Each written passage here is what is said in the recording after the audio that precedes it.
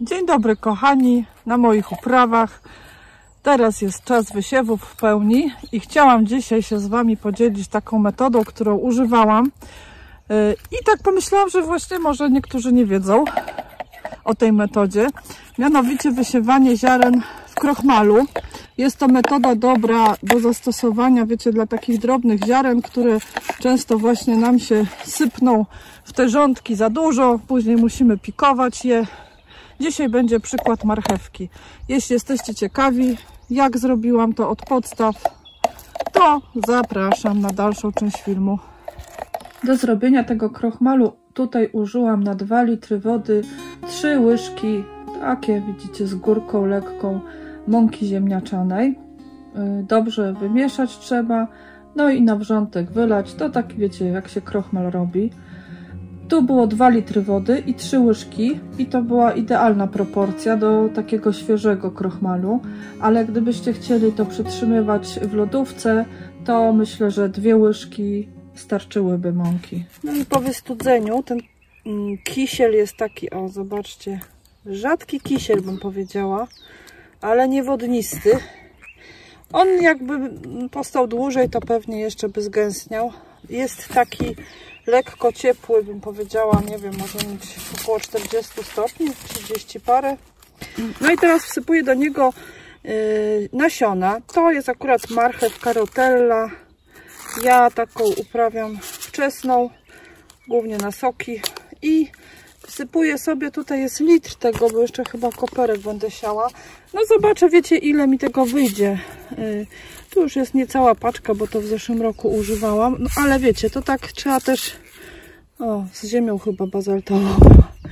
Trzeba też tak, wiecie, no wy... Ostrożnie z tymi nasionami, wymiarkować to, no bo też właśnie po to to robimy, żeby nie było tych siewów za gęstych. Niestety troszkę mi się, wiecie, pozlepiały te nasionka, bo były z mączką bazaltową. Ale je tak, wiecie, rozprowadzić można. Tak naprawdę najlepiej, żeby to postało dobę, nawet dwie w tym krochmalu, ponieważ nasiona mają tą naturalną taką osłonkę woskową i ona się troszkę tutaj rozpuści, co przyspieszy też y, właśnie kiełkowanie tej marchewki. Będzie ono bardziej równomierne. Y, no i też na powierzchni y, nasion są te hormony wzrostu, już mówiłam tam w którymś odcinku o tym, które jakby nasionko powstrzymują od kiełkowania. A jak my to właśnie namoczymy, spłuczemy, no to będzie znak dla marchewki, że ma już ruszać. Ta metoda się super sprawdza, wiecie, przy drobnych nasionach głównie. Przy marchewce, pietruszce, przy koprze, myślę. No takie właśnie, które później musimy przerywać, jak nam za gęsto wyjdzie. Myślę, że takie zagęszczenie tego będzie odpowiednie. Ja sobie to, wiecie, tak robię trochę na oko, bo właśnie trudno mi jest ocenić ilościowo, ale tak, no żeby nie było za gęsto tych ziarenek, staram się je tak, wiecie, łyżką od, oddzielać. To znaczy te takie zbite kup, kubki tych nasion, które się posklejały. No gdybym ja to zostawiła na noc, to ładnie by się wtedy te nasiona rozkleiły. Ale że przyjechałam teraz na działkę i muszę to teraz zrobić, bo jutro nie będę na działce, więc robię to właśnie tak. O, taka widzicie gęstość tych nasionek. No i teraz mam różne metody tego, bo tak, tu jest takie naczynie z dzióbkiem, możemy to lać bezpośrednio na, na grządkę, to ja Wam pokażę później, ale to jest takie bardzo wątpliwe, czy się uda. Tu mam taką gruszkę, to chyba będzie najwygodniejsze, bo to za, zas, zas się ta gruszka, yy, tam jakąś ilość tego krochmalu i będziemy właśnie wrowki dawać. Tutaj mam jeszcze butelkę, jeszcze o sobie wodę dopiję. Ona ma taki dziubek, który też ma fajny taki otworek. A jeszcze jedną metodą, którą też polecam, jest woreczek taki elastyczny i zrobimy mu tutaj y, na rogu dziureczkę i też będziemy właśnie siać za pomocą takiej metody. I zaraz pójdziemy na grządkę, gdzie mam wysiać marchewkę i wszystko Wam pokażę. Y,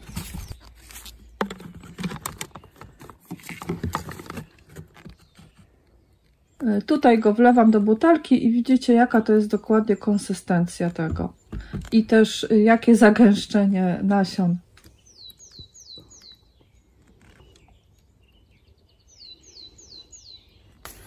No, troszkę mi się narozlewało, ale zobaczcie.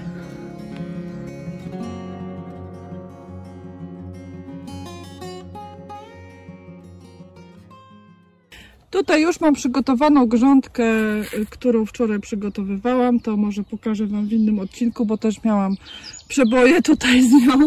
E, Tutaj mam właśnie już te nasiona, które Wam pokazywałam. I teraz no, prostą metodą będzie wylanie po prostu tego do e, tych rowków. Też nie jest to zła metoda. Patrzcie jak to idzie prosto.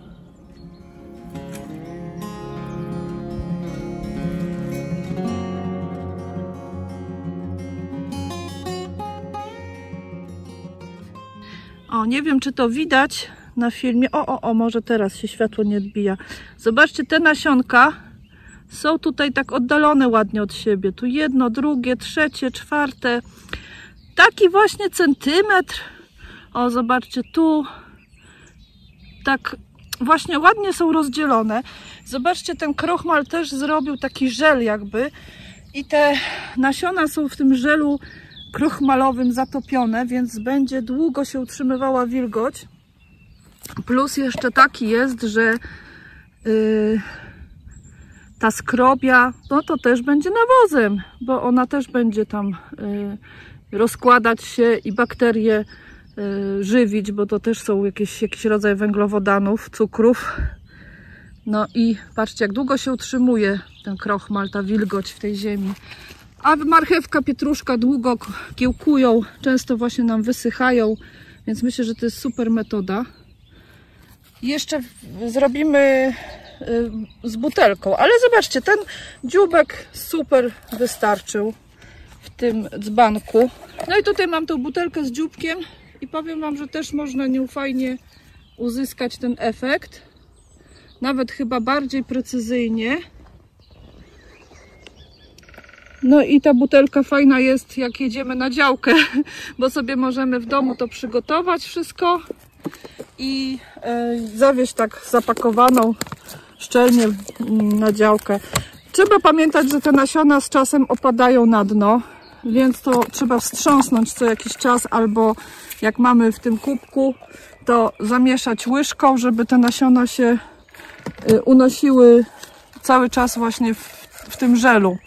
Jeszcze mam tą gruszkę, to też jak macie na przykład, yy, to można to wykorzystać, ale tutaj nie, gruszki nie będę chyba pokazywać. Gruszka jest niewypałem się okazuje, bo ma za mały otwór. Myślałam, że będzie dobra. Może jakby był większy otwór albo małe nasionka. No ale to już myślę takie, wiecie, apteczne wysiewy.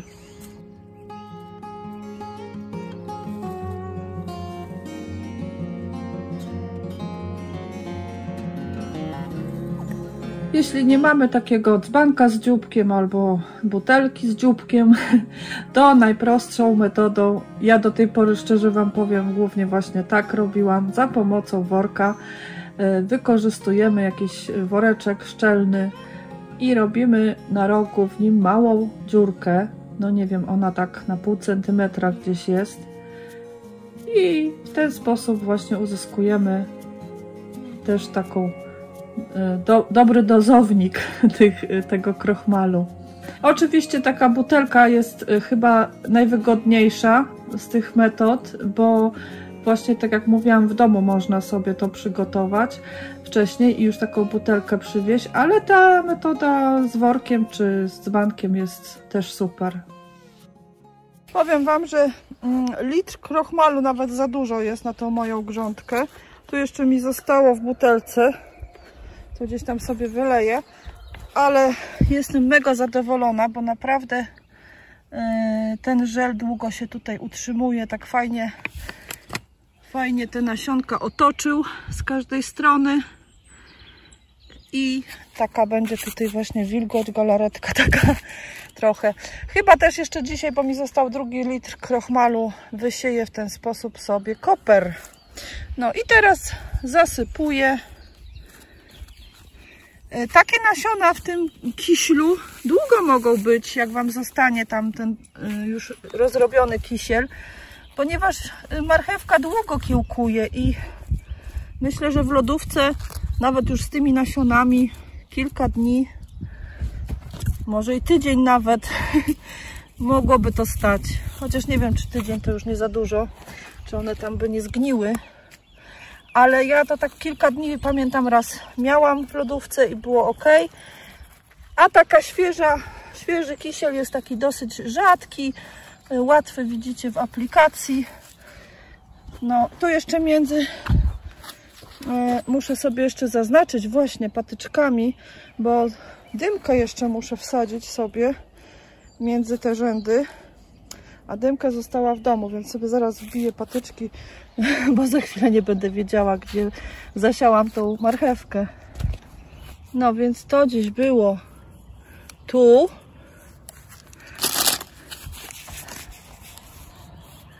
No zapomniałam, wiecie, dymka została w przedpokoju.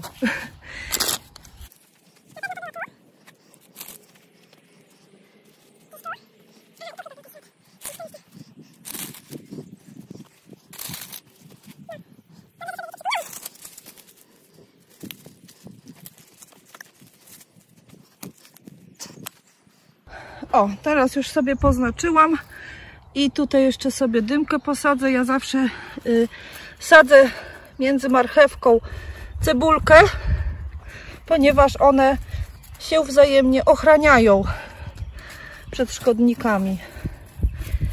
Ale to już nieraz mówiłam, więc się nie będę powtarzać. Warto właśnie cebulkę tak sadzić i marchewkę razem siać marchewkę.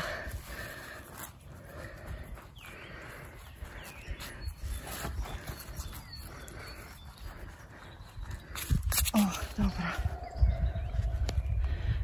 No i mamy to. Mam nadzieję, kochani, że ten sposób Wam się spodoba. Może już też korzystacie z niego. E, to napiszcie mi tam w komentarzach. E, ja bardzo go lubię, bo właśnie on umożliwia takie szybkie e, i równomierne wysianie. No i to na dzisiaj będzie wszystko. Do zobaczenia. Wszystkiego dobrego Wam życzę. Do usłyszenia. Pa, pa.